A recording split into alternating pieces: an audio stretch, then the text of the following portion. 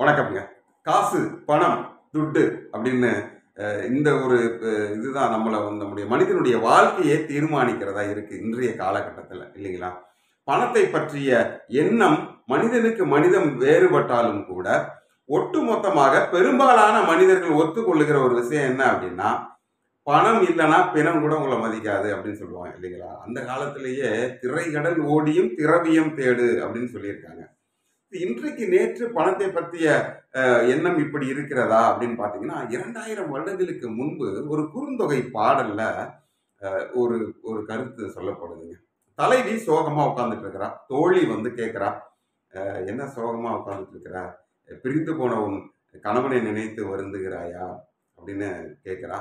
ஆமா கணவனை நினைத்து தான் வருத்தமா இருக்கு அப்படின்னு தலைவி சொல்றா. ஏன்னா தலைவன் வந்து பொருள் தேடுவதற்காக தலைவியை விட்டு விட்டு வெகு தூரத்துக்கு போயிருக்கிறாங்க. ஸோ அப்போ அந்த தலைவி கூற்றாக அமைந்திருக்கிற நான் எதற்காக வருந்துகிறேன் அப்படின்னு அந்த தலைவி சொல்லுகிற பாடலாக அமைந்திருக்கிற இந்த பாடலை பாருங்க. குறுந்தொகையில எட்டு தொகை நூல்களில் ஒன்றால குறுந்தொகையில அமைந்திருக்கிற இந்த பாடல். உள்ளது சிதைப்போர் உலரெனப்படா இல்லோர் வாழ்க்கை இரவினும் இழிவென சொல்லிய வன்மை தெளிய காட்டி சென்றனர் வாளி தோழி என்றும்.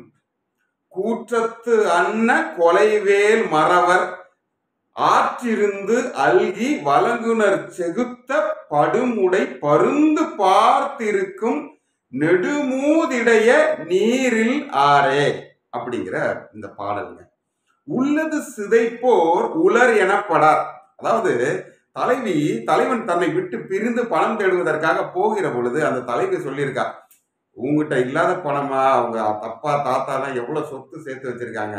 அதெல்லாம் விட்டுட்டு நீ போயிட்டு நீ சம்பாதிச்சு தான் வாழ்வேன்ட்டு போறிய இதெல்லாம் நியாயமா? அப்படின்னு சொல்லி தலைவி கேட்டதற்கு தலைவன் பதில் சொல்லிட்டு போறான் பாருங்க. என்ன சொல்றான்? உள்ளது சிதைப்போர் உலர் எனப்படார். அதாவது அம்மா அப்பா சேர்த்து வச்ச சொத்தை உட்கார்ந்து சாப்பிட்டு அழிக்கிறவன் உள்ளது சிதைப்போர் இருக்கிற சொத்தை அழிக்கிறவர்கள் உலர் எனப்படார். அவன் இருக்கிறான்ற இதுக்கே அர்த்தம் இல்லாதவன். அதாவது செத்து போனவனுக்கு சமம் அப்படிங்கிற ஒரு கருத்தை தலைவன் இரண்டாயிரம் வருடங்களுக்கு முன்பு வாழ்ந்த ஒரு தலைவன் தன்னுடைய தலைவி இடத்துல சொல்றாங்க. பரம்பரை சொத்தெல்லாம் உட்கார்ந்து சாப்பிட்ற மனுஷன் சாப்பிடுவானா? ஆண் மகன்னா போய் சம்பாதிச்சுட்டு வரணும் அப்படின்ட்டு அவன் சொல்றான். சரி பரம்பரை சொத்தை நம்ம ஒன்றும் சாப்பிட தேவையில்லவா கஷ்டப்பட்டாலும் ஒன்று கூலோ கொஞ்சம் ஒன்றா குடிப்போம் அப்படின்னு தலைவி சொல்லியிருப்பா போல. அதனால அடுத்த வரியில அவன் சொல்றான் இல்லோர் வாழ்க்கை இரவினும் இழிவு என சொல்லி சொல்லிய வன்மை.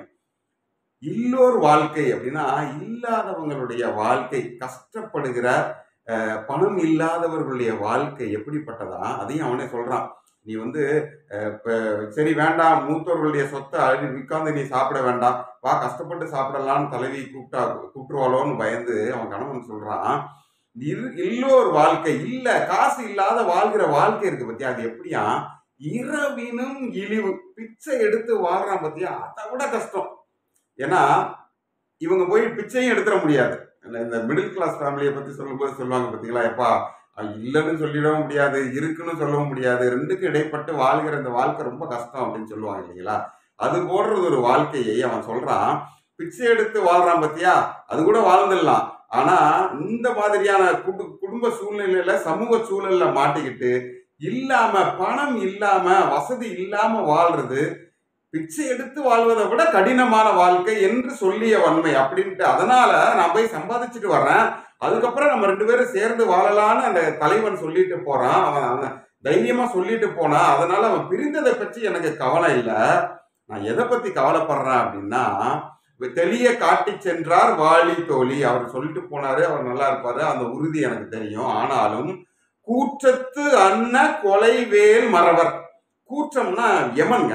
யமனை போன்ற கொலைகார வேலை கையில் பிடித்து இருக்கிற மறவர் கல்வர்கள் காட்டு வழியில போற வழிபோக்கர்களை வழிப்போக்கர்களை மறி மறித்து வழிமறித்து அவருடைய பொருட்களை பறித்து கொண்டு உயிரையும் கொன்று போடுகிற கொலை வேல் மறவர் கொலை வேலை கையில கொண்டிருக்கிற அந்த கல்வர்கள் நிறைந்த காட்டு வழியில அவன் போறான்.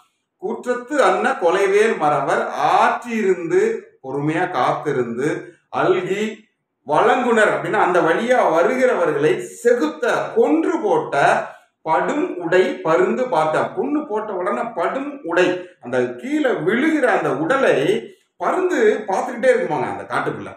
ரெடியா இருந்து பார்த்துக்கிட்டே எப்போ உடல் விழும் அப்படின்ட்டு. விழுந்த உடனே பருந்துகள் எல்லாம் பறந்து வந்து அந்த பிணத்தை தின்னு அந்த பிணந்திண்ணி கழுகுகள் இருக்கு இல்லையா? அது வந்து ரெடியா காத்துக்கிட்டு இருக்கிற காடா. அந்த காடு எப்படிப்பட்ட காடு?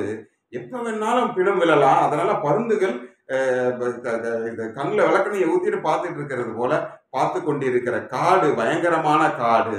நெடு மூதிடைய நீரில் ஆறு. நெடுமையான நீண்ட வழி முதுமையான வழினா ரொம்ப பழமையான காடு. என்னன்னா அடர்ந்த காடு. அடர்த்தியான காடு. நீர் இல் ஆரே நீர் இல்லாத தண்ணீர் கிடைக்காத காட்டு வழி அது.